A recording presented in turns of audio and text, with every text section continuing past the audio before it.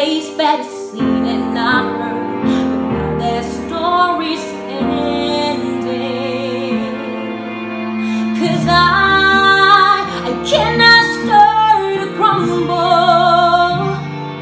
So come on and try, try to shut me and cut me down. I be silent. You can keep me quiet.